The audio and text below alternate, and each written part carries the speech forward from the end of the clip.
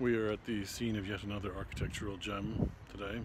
Um, I just pulled into this little street on catching sight of these interesting buildings behind me, so I'm going to cycle around them and take a look.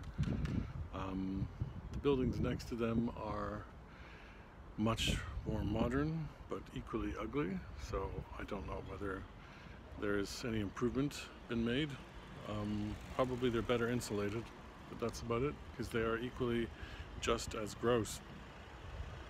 Um, this seems to be uh, a thing, in, at least in London, and I think probably in a lot of the UK as well, of um, housing estates from the 60s and 70s being really ugly.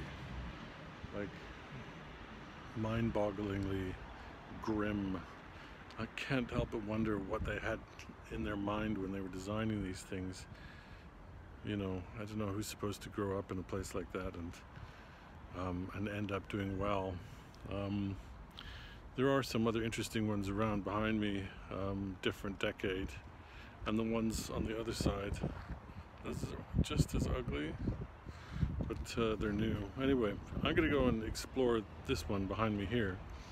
It goes down there, and in fact, it's adjacent to that one that I was at the other day. You see that building there in the background, this one. That was one of the buildings in the video that I did about a week ago um, with all the empty, dead playground areas and stuff like that.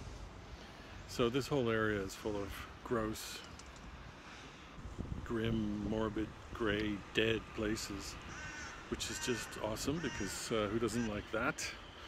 So um, the one directly opposite me though is kind of interesting. It's a little less gross. That one there behind me now. Anyway, I'm gonna um, take a look around, see what I find. Maybe even find like a dead hooker rolled up in a carpet or like a suitcase with a severed head in it or something like that. Maybe a burnt out car or some dead junkies or something. Anyway, wish me luck. Thanks for watching.